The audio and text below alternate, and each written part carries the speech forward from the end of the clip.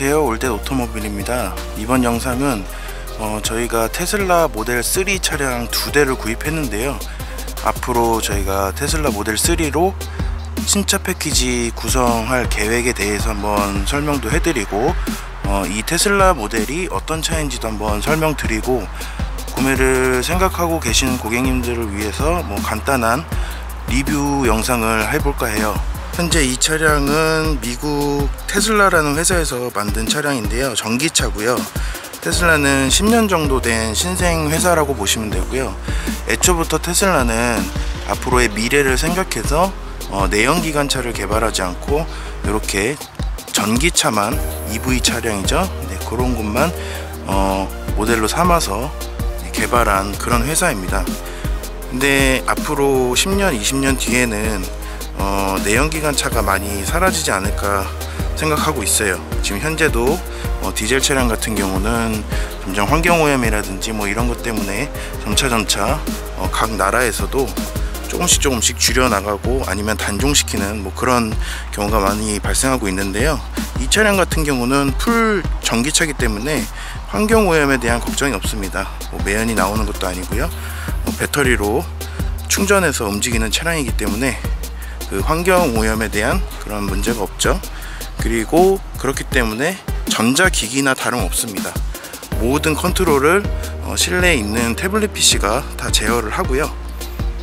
뭐 내연기관 차처럼 엔진이 들어가거나 뭐 미션이 들어가거나 그런 게 거의 없고 예, 그냥 전자기기라고 봐도 과언이 아닐 정도로 예, 그렇게 구성되어 있습니다 일단 외부적으로 한번 살펴본다면 디자인적인 측면에서는 어, 포르쉐와 되게 유사해 보이긴 하는데요. 디자인 자체가. 이제 이런 것들은 조금 어, 좀 아쉬운 부분인 것 같긴 해요. 왜냐하면은 이 차량 같은 경우는 내연기관 차가 아니기 때문에 엔진룸이 따로 없습니다. 앞쪽 부분도 어, 트렁크 공간이고요. 그 다음 뒤쪽 부분도 적재 공간이기 때문에 어, 그런 디자인적인 측면에서는 조금 아쉬움이 좀 있는데요. SF 영화나 뭐 그런 데서 나오는 어, 그런 희한한 디자인들 미래 지향적인 디자인들 그런 게 가능한 차량입니다. 배터리가 밑 바닥 쪽으로 쭉 어, 깔려 있는데요. 그거 외에는 따로 이렇게 공간을 많이 엔진룸처럼 그렇게 차지하는 부분이 없기 때문에 앞으로 나오는 디자인들이 어, 조금 더 기대가 되는 부분이기도 해요. 아무래도 그런 자동차를 설계할 때 항상 고민해야 되는 뭐 엔진룸이라든지 뭐 이런 게 따로 들어가지 않기 때문에 다양한 디자인이 나올 거라고 생각합니다 앞으로 미래에는. 일단 이 차의 장점은 어 뭐 전기차라는 것도 있겠지만 외부적으로 이렇게 디자인을 보시게 되면 공기 저항 개수가 가장 낮은 차라고 이렇게 홍보를 하고 있는데요 좀 실제로 보기에도 굉장히 매끄럽고 어 약간 공기 저항이 적은 차량 같이 보이긴 해요. 이 휠캠 모양도 그런 거를 어 감안해서 만든 디자인이라고 합니다. 공기 저항을 최소화시키고 예, 연비에 이렇게 영향을 줄 수 있도록 백미러도 마찬가지로 이렇게 공기 저항을 최소화시키기 위해서 이쪽이 이렇게 막혀 있지가 않고 이렇게 뻥 뚫려 있죠? 예, 그런 것들이 다 공기 저항을 감안해서 이렇게 만든 거고요. 이 차량은 배터리가 이 하부 바닥으로 다 들어가 있기 때문에 무게 중심이 어, 아래로 쏠려 있어요. 그래서 어, 전복 위험이 굉장히 낮은 장점이 있다고 합니다. 아무래도 무게 중심이 땅으로 이렇게 향해 있다 보니까 어, 차가 이렇게 뒤집히는 전복 위험이 굉장히 낮다고 합니다 지금 현재 국내 하이브리드 차량 같은 경우도 어, 어떻게 보면 연비를 위해서 사시는 거잖아요. 근데 그 차량을 구입하게 되면 어, 최대한 EV 모드로 다니기 위해서 하이브리드 차량은 항상 속도를 많이 내지 않고 저속으로 많이 다니시는 그런 것들도 아마 느끼실 거예요. 그, 런데 이 차량은 그런 걱정이 없이 full EV 차량이기 때문에 그냥 충전만 하면 되기 때문에 마음대로 예, 밟고 타실 수가 있다는 점 그런 점이 장점인 것 같고요. 뭐 기름값 걱정이 많이 없으니까. 어, 이 차량이 그리고 현재 어, 생각보다 엄청 잘 나갑니다. 제로백이 3.4초에 불과하다고 해요. 그리고 어, full 충전으로 400km 정도 갈 수 있고 그리고 최고 속도도 200km 이상 나오고 네, 그런 것을 봤을 때는 어, 정말 잘 만들지 않았나 그렇게 생각을 해요 하지만 이 차량도 단점은 많이 있습니다. 뭐 실내 승차감이라든지 뭐 서스펜션 자체가 그렇게 뭐 승차감 위주로 만든 차량이 아니고 아직 신생 회사이기 때문에 그 승차감이라든지 뭐 풍절음 이런 거 소음 같은 거에서는 아직은 좀 취약하다고 해요. 그런 부분들을 저희가 감안해서 어, 작업 내용도 선택을 할 거고요 이 차량을 구입 생각을 하시는 분들 위해서 간단히 그냥 제 소감을 한번 말씀드리자면은 먼저 어, 주변에 그 충전 슈퍼차저 충전소가 네, 어, 느 어느 곳에 위치해 있는지 한번 확인해 보는 게 좋을 것 같고요. 아직까지는 그래도 국내에 어, 충전 시스템이 많이 있진 않으니까 그런 것들 불편한 점이 없는지 한번 잘 살펴보고 그 다음에 이 차를 구입할 때는 국가 보조금을 받을 수 있어서 모델 3 같은 경우는 4천만 원대에 구입이 가능하다고 합니다. 하지만 한 번 충전으로 400km 정도 이렇게 운행을 할 수 있기 때문에 그런 것도 잘 꼼꼼히 살펴보시고 어, 충전소는 어디에 있고 그러면 일주일 동안에 어떻게 운행 거리를 설정해야 되고 이런 만약에 그런 것들이 다 일치해서 맞아 떨어진다면 이 차량이 어, 유지비가 굉장히 적습니다. 뭐 예를 들면은 뭐 미션 오일도 안 들어가고요. 엔진 오일도 안 들어가고 그리고 뭐 지금 비싼 뭐 휘발유나 디젤처럼 그런 기름값도 안 들어가고요. 온리 이제 전기로 충전해서 타는 차량이기 때문에 그런 유지비가 적다는 점. 만약에 어 제가 이 차를 산다 그러면 일주일 운행 거리가 400km 안쪽인 어 출퇴근 차량용으로 많이 사용할 것 같아요. 그렇게 하고 세컨카로 출퇴근용으로 이 차를 사용하고 또 한 대는 뭐 이렇게 장거리 운행하고 여행 다닐 수 있는 차량. 네, 그렇게 두 대만 있다면 어, 이 차량 굉장히 괜찮은 것 같습니다. 음, 유지비가 적기 때문에. 그리고 이 차에서 가장 매력적인 부분이 오토 파일럿 기능이에요. 지금 보시면은 뭐 이런 군데군데 카메라들이 이렇게 보이거든요. 이 백미러 쪽에도 보이고 막 이런 것들이 여기도 카메라가 있고 이런 것들이 전부 다 그 오토 파일럿 기능을 위한 카메라인데요. 뭐 around view 그런 카메라가 아니고 네, 그런 부분들에서 이 차가 굉장히 매력적이에요. 그 지금 현재 우리나라에도 드라이, Drive Wise라는 옵션이 있죠? 그 기능보다도 한 단계 더 진보된 그런 기능입니다. 오토 파일럿 기능이. 어, 반자율주행이긴 한데 거의 뭐 자율주행, 자율주행이라고 봐도 될 정도로 엄청 그 기능이 진보돼 있어요 그러니까 운행하시기에 굉장히 편하겠죠?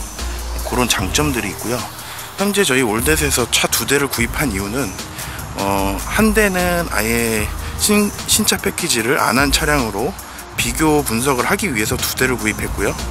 지금 흰색 차량 같은 경우는 완전히 풀 신규 패키지 작업을 해서 어, 예를 들면은 썬팅 같은 경우는 실내 온도 체크라든지 뭐 이런 것들 실제로 썬팅지를 시공했을 때 성능이 제대로 발휘되고 있는지 실내 온도 체크라든지 뭐 이런 부분 그리고 이 테슬라 차량을 저희가 운행을 해보면서 각종 불편한 점이라든지 꼭 필요한 작업 이런 것들을 많이 찾아보고 네, 그 내용을 토대로 신규 패키지를 어, 구성하려고 해요. 지금 이 번호판 같은 경우도 이게 순정인데 이렇게 막 떨려요. 이런 부분도 저희가 잡을 수 있는 부분 찾아볼 거고요 그리고 여기에 보시면은 어, 뒷유리에 아무것도 지금 안 돼 있죠? 근데 이 트렁크를 비 오는 날 트렁크를 열게 되면 물이 와르르 떨어지거든요? 그걸 방지하기 위해서 저희가 여기에 그 스포일러도 대주고 있고요. 그런 부분들 어, 이 차를 운행하면서 불편한 점들 그런 것들을 토대로 해서 패키지 내용 구성을 시작해 보려고 합니다. 네 지금 실내로 들어와 봤는데요 어, 모든 이 차량의 컨트롤을 이 태블릿 PC 하나가 다 관리를 합니다. 그냥 거의 완전 전기 기기라고 봐도 과언이 아닐 정도로 모든 거를 다 여기서 컨트롤 할 수 있습니다. 뭐 이렇게 에어컨 뭐 이런 온도 설정이라든지 바람 세기 이런 것들. 뭐 이런 것들도 전부 다 이 하나로. 여기에서 모든 걸 컨트롤하기 때문에 어, 한 가지 또 좋은 점이 테슬라 이 차량 같은 경우는 예를 들면 우리나라 차량 같은 경우는 나중에 차를 뽑고 나서 어, 이 옵션이 좀 필요한데 늘 걸 그랬다. 이런 어, 그 뭐지? 후회를 할 때가 있잖아요. 뭐 이렇게 아나 드라이버가 아직 넣었어야 되는데 못 넣었다. 막 이런. 얘 같은 경우는 그런 걱정이 없는 게 나중에도 추가하실 수가 있어요. 이 그 업그레이드를 통해 가지고 이 태블릿 PC의 그 시스템 업그레이드를 통해 가지고 추가로 또 옵션도 설정을 넣을 수가 있고요. 그리고 또 테슬라에서도 계속적으로 어, 시스템이 새로운 게 있으면 업데이트를 또 해줍니다. 그런 장점이 있습니다. 이 테슬라 모델은. 이 태블릿 PC를 뭐 이렇게 조작하는 그런 조작 방법들이나 이런 것들은 뭐 이렇게 차량을 이렇게 눌러서 직접 해보시면은 그렇게 어렵진 않아요. 뭐 핸드폰 처음 샀을 때처럼 핸드폰 조작하듯이 그렇게 한번 하나하나 꼼꼼히 살펴보시면 되고 그런 것들은 이제 또 많은 리뷰분, 리뷰분들이 해, 하셨잖아요. 뭐 설명에 대해서. 그러니까 제가 지금 올드에서 이제 신차 패키지 구성에 대해서 알려드리고자 하는 거는 이 테슬라 차량이 그 썬팅이라든지 이런 것들이 굉, 작업이 굉장히 까다롭습니다. 이 측면 같은 유리 자체도 어, 열성형을 해서 시공을 해야 돼요. 그리고 테두리 부분도 전부 다 쉐이빙을 해야 되고 전면 같은 부분도 이런 카바라든지 이런 걸 전부 다 제거를 하고 해야 되는 예, 그런 시공이라서 어, 썬팅 작업이 생각보다 굉장히 어렵습니다. 고난이도의 작업이고 어, 이 지금 뒷 유리를 보시면은 뒷 유리가 엄청나게 크거든요.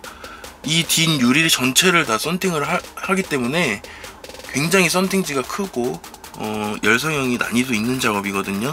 네, 그런 부분까지 지금 저, 희가 어, 세심하게 작업을 하기 위해서 꼼꼼하게 테스트 중이고요.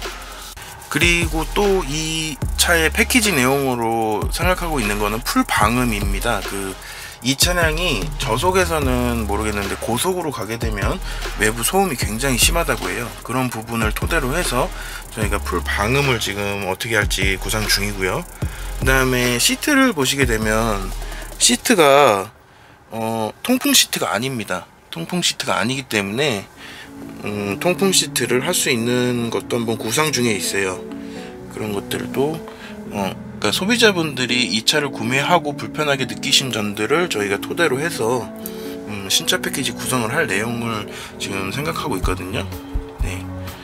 네. 그리고 그거를 다 흰색 차 저희가 테슬라 흰색 차가 있는데 흰색 차에 모두 시공을 해가지고 이 검은색 차는 normal로 그냥 어, test car로 냅둔 다음에 비교 분석을 해볼 거예요. 뭐 외부 소음이 얼마나 차이가 나는지, 그 다음에 썬팅지 시공을 했을 때 실내 온도 차이가 얼마나 나는지, 뭐 이런 것들 실질적으로 신규 패키지, 신차 패키지가 음, 정말 의미 있는 작업인지 이런 것들을 테스트를 해서 어, 고객님들께 보여드리려고 해요.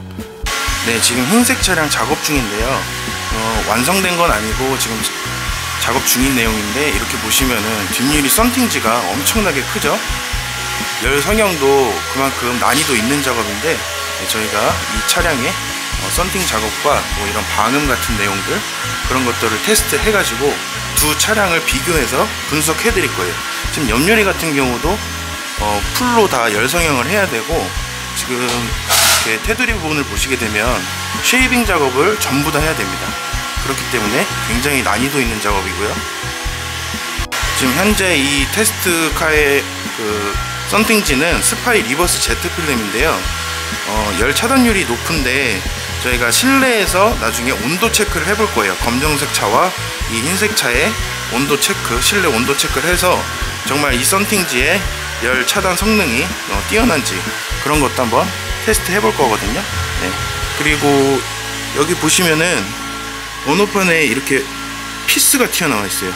이게 순정 번호판인데 이런 네, 부분들도 저희가 어, 세심하게 지금 살펴보고 있고 이 떨림이 어, 나지 않을 수 있는 그런 작업도 한번 생각해 보고 있습니다. 네 아까 말씀드렸다시피 이 비 오는 날 이 트렁크를 열게 되면 물이 와르르 떨어지거든요. 그런 걸 방지하기 위해서 이런 스포일러를 뒷유리에 이렇게 대봤어요. 이것도 굉장히 좋은 아이템이라고 생각이 됩니다. 그 아까 검정색 차량에서 보셨던 휠캡 순정 휠캡을 제거하고 나면 휠 모습이 이렇게 생겼는데요. 조금 더 스포티하게 보이죠? 그 부분에 저희가 이렇게 볼트 마감재를 끼워 봤어요. 이런 것도 어, 괜찮은 것 같아요. 디자인적으로 봤을 때. 네, 이렇게 해서 앞으로의 그 테슬라 차량에 대한 저희 올댓의 계획을 한번 말씀드렸는데요. 어, 뭐 자세한 이 차의 스펙이라든지 뭐 기능 뭐 이런 것들은 전부 다 그 많은 리뷰분들이 유튜브에 많이 올리셔가지고 따로 그런 설명은 드리지 않았고요. 저희 올댓의 계획에 관한 어, 그런 작업에 대한 그런 것만 설명을 한번 드려봤고요. 네, 지금부터는 이제 작업이 완료되고 테스트할 때마다 영상을 찍어서 올릴 거거든요. 네, 그럼 1부는 이렇게 해서 마치고요. 다음에 2부에서 또 어, 좋은 내용으로 영상을 올려드리도록 하겠습니다. 시청해주신 분들 감사하고요. 좋아요 한 번씩만 부탁드릴게요.